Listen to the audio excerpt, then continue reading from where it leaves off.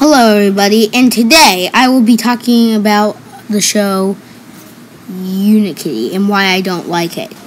It's because, well, first let me talk about it. It's a spin-off show of the character from the Lego movie Unikitty. I don't like it because I thought they should have stuck to the Lego character design. And it, it just doesn't seem right that they didn't keep. I thought they should have kept at least a little bit Lego. But don't forget to subscribe, like, and hit the notification bell. See ya.